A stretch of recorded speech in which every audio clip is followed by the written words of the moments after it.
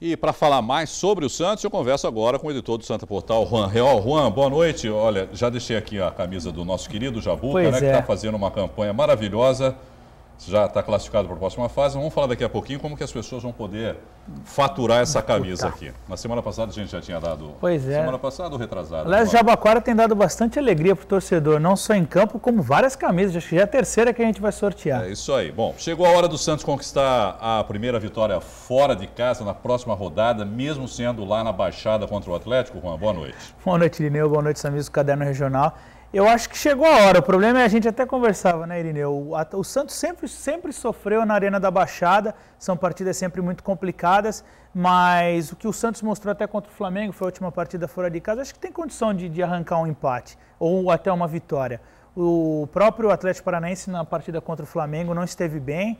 É, tem ali espaço para as equipes cons é, conseguirem marcar gol, acho que o Santos tem boa chance de, de, de sair com a vitória. Mas se, se, temos que trabalhar com um empate ou até mesmo é, um, uma derrota que não seja muito longa, né? A gente, numa, com uma diferença muito grande de gols. A gente tem que lembrar que o Santos ainda está ali próximo da zona do rebaixamento. É, não dá também, a gente até brinca, né? Ah, duas vitórias seguidas, pintou o campeão, Ficou pintou o Libertadores. Lugar. Vai ficar no mesmo lugar, está muito embolado, né, Irineu? Como a gente sempre conversou, sempre está falando. É, temos três jogos hoje, o Santos até pode perder posições, dependendo do resultado de Cruzeiro e outros. Então a gente tem que é, torcer para que o clube jogue bem e conquiste os resultados Mas que foi o que jogou aconteceu. bem, né, Juan? Não reflete exatamente o que foi a partida. No primeiro tempo, o Santos teve muitas oportunidades de gol, não é? Pois é, Irine, eu acho que o que vale destacar dessa partida de ontem foi o resultado. Uma vitória que era o que o Santos precisava em casa nessa briga contra o rebaixamento todos tinham uma expectativa de que houvesse uma goleada e ela não é, aconteceu é. porque não era uma noite é, muito boa do Ricardo Oliveira.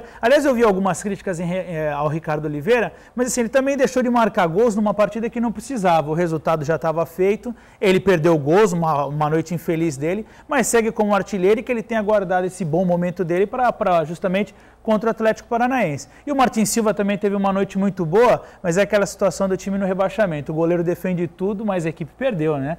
Não é. foi muito boa. Mas eu, é, é, foi, foi, vale destacar a, a, defesa do Santos com o Gustavo Henrique ali, que tomou conta da posição mesmo. Acho que o Erley vai ter que esperar um tempo no banco de reservas. E, e o Santos sempre criando muitos Bom, lances de gol. O gol foi naquele cantinho que você falou que sempre sai gol de novo. Pois né? é. Mas o que eu queria perguntar para você também é, Lucas Lima na seleção. Olha, Irineu, é, muito se falou sobre o Lucas Lima na seleção. Eu sei que você não é um grande fã do. É, eu acho que o Lucas Lima tem potencial para chegar lá, mas aí, por exemplo, ele já foi convocado agora. Aí não faz uma boa apresentação na seleção, vão ficar falando: olha, é, por, é, o 7x1 foi pouco e tudo mais. Acho que o Lucas Lima tem que galgar muito posição ainda. Ele permaneceu no Brasil, muitos falavam da ida ao Porto, se permanecesse do Brasil jogando bem, seria convocado, e isso aconteceu. Mas ele também mudou de empresário recentemente, né? O Wagner Ribeiro agora está trabalhando com ele é uma convocação para a seleção, já vai ter aumento de salário por causa dessa convocação. Eu acho que, que, que, ele não se iluda muito, que ele vá com a cabeça muito centrada em fazer um bom papel na seleção, para que ele não se queime, como a gente já viu muitos jogadores sendo convocados, ainda não estão preparados para a seleção e acabam voltando despre, desprestigi, é, sem prestígio. Porque Até porque não sabe nem se vai jogar também, né? Não sabe, se não jogar e só foi é, para integrar grupo e treinamento, eu acho até melhor. O Dunga já convocou muita gente assim, né? Vai, chega lá, fica no banco, assiste o jogo e vem embora. Exato. Faz um passeio Pois e... é, e aí muda empresário, é. é. o clube de fora que tem interesse, um Porto, um Real Madrid. Eu acho complicado. Assim, o atleta está de parabéns. Dentro do futebol brasileiro ele se destaca, ele fez por merecer essa convocação, mas a seleção brasileira está um problema. São então, dois amistosos nos Estados Unidos agora, Juan? Dois amistosos é. e até uma, uma situação... É, é, Porto Rico, quem é? e o próprio só? Estados Unidos, né? Estados Unidos e Porto é. E, e, e, eu acho, Irineu, que vale destacar, o Neymar também foi convocado. O Neymar Sim. não joga as duas primeiras partidas das, das, eliminatórias. Aliás, eu não ouvia falar de cachumba, Juan, pois é, desde quando tempo, eu era né? menininho. Né?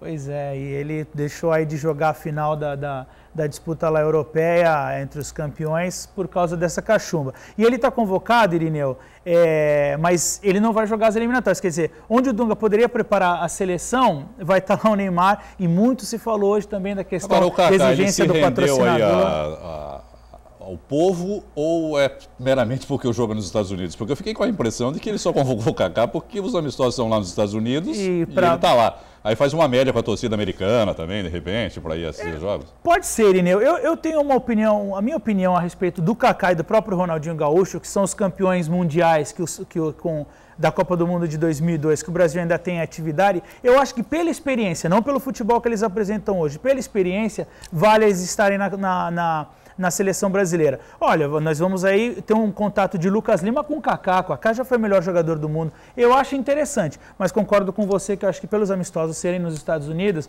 forçou um pouco essa convocação. Mas a minha opinião, eu acho que os, os atletas que estão em atividade e que foram campeões brasileiros deveriam estar na seleção, é. independente do futebol que eles estão apresentando, mas pela experiência que eles podem passar para os outros jogadores. Convocou o Lucas também, né? Do... O retorno do Lucas, o Douglas Costa agora no Bayern, é. né? Só para confirmar, Juan, é, Costa Rica e Estados Unidos. Ah, Costa Rica. Não, eu disse Porto Rico, é, acho, né? Costa Rica e Estados Unidos, dia 5 e 8 de setembro. Agora, rapidinho, Juan, E porque... lista completa dos convocados no Santa Portal. É, nosso tempo está muito tá mais curto. Em relação à participação aí dos outros times grandes, o, a principal novidade é o Corinthians, né, que bateu o esporte. Pois é, um jogão. Jogando em casa, 4 a 3 um jogo de muitos gols. Chegou a estar com 3 a 1 na frente, o esporte empatou, empatou, e depois com um pênalti... Foi que para alguns foi polêmico, é. para alguns não foi, para outros. A, a é. É, decisão do árbitro, o árbitro nunca decide contra o Corinthians. Eu acho que essa é a grande discussão. Aí cada um tira Bom, a sua, né? 37 pontos o Corinthians. Pois é, assumiu a liderança, pode ser ultrapassado pelo Atlético Mineiro, que faz um jogo contra o Grêmio. Que joga hoje, né? É. O, o, São Paulo também foi bem, venceu né, o Figueirense, 2 a 0 gols do Pato. O Pato está jogando bem, né? Marcou jogando de bem. novo. Aliás, pediram ele na seleção nessa convocação e acabou não sendo convocado, está merecendo. O Rogério Ceni marcou de pênalti e assumiu agora a terceira posição com 31 pontos. Foi o time que mais subiu, acho que subiu cinco posições. Subiu né, de oitavo para terceiro, subiu muitas posições. Uma bela vitória do São Paulo. Ninguém acreditava muito nessa vitória, uma boa vitória. O próximo compromisso do São Paulo é fora agora. Fora de casa. Bom, o Palmeiras segue em queda livre, perdeu para o Curitiba no Paraná, uma partida que todo mundo achava que o Palmeiras teria condições pelo menos de vencer, né, Juan? Mas foi derrotado 2 a 1 é o oitavo colocado agora com 28 pontos. Os gols foram marcados por Henrique Almeida, duas vezes para o Curitiba e o Rafael Marques para o Palmeiras. É, o, o, Palmeiras ele acabou tirando o Curitiba da última colocação e o Vasco acabou pegando a lanterna nessa partida. É a terceira, terceira derrota consecutiva do Palmeiras, né, Irineu? A gente destacou que ele vinha numa sequência invicta e agora passa por essa má fase. É, o Eldo é. falou que é série de derrotas agora. Pois né? é, o Eldo, do, do, nosso editor de imagens, é diretor de imagem aqui, ele secou o Palmeiras, né? secou né? O Palmeiras. É uma sequência de derrotas, ele quer que a gente fale. Mas o Palmeiras tem chance de se recuperar, coincidiu também com a lesão daquele menino é Gabriel, o volante. É Fez toda a diferença, eu acho, no Palmeiras. Pois é, né? incrível, né? Como o jogador um faz jogador... a diferença. E o Marcelo Oliveira ele vai ter que se virar aí para voltar àquela fase. O torcedor já se acostumou mal e agora o time começa a perder. É, é complicado, né, Irineu? Mas tem chance de melhorar, é, só que ficou longe do G4. Vai precisar recuperar, começar vai, a vencer partidas fora de casa. Vai ter que remar, como a gente costuma dizer, né, Ficou Juan? bem complicado para o Palmeiras. Bom, para a gente finalizar aqui, falar um pouquinho da segunda divisão. Domingo, 10 da manhã, Clássico das Praias, em Urico Mussa. Não muda nada, não vai alterar nada. A única coisa que vai mudar é que o pessoal vai poder ganhar uma camiseta. Uma camisa Juan. do Jabaquara. Segura aí pra gente mostrar pois aqui. é, o, o Jabaquara que... Aquela era do centenário, essa é a camisa do Jabaquara eles mesmo. Né? na, durante a partida. Nas partidas. Para o pessoal ganhar essa camisa, vai ser o seguinte, na, na outra que a gente sorteou foi o pessoal que assistia aqui o Caderno Regional, participou pelo Santa Portal também. Isso. Essa daqui a gente vai sortear pela 107,7 FM. Então amanhã Durante toda a programação da Santa Cecília FM, liga lá de manhã, fala com o Tiago, depois com a Sandra. E no, no meu horário, às 5 horas da tarde, vou fazer o sorteio. Então você pode ligar durante todo o dia, amanhã, na programação da Santa Cecília FM, se inscreve e no final da tarde, no meu horário, a gente vai escolher quem vai levar essa camiseta aqui. Beleza. Tá bom? Qualquer coisa tem no Santa Portal também as informações No Santa Portal pessoal, tudo né? certinho, o telefone certinho da rádio. Irineu, só corrigindo, São Paulo vai jogar no Morumbi contra o Goiás. É em casa? É em casa contra o Goiás. Bom. Nessa última rodada desse primeiro turno, depois já começa o segundo turno. Contra o Figueirense foi fora o... É, o Figueirense foi fora. Que o, o, o, o Rubens está. Eu acabei falando tá que seria fora, mas não, ele vai jogar no Morumbi nessa última rodada. Tá certo. Não, ele quis dizer que foi fora e eu também e, acabei induzindo É, eu, não, eu é. acabei, eu me confundi com as partidas. Bom, essa partida Sancília TV transmite ao vivo 10 horas da manhã no domingo, é isso? Ou Jabuca e Portuguesa?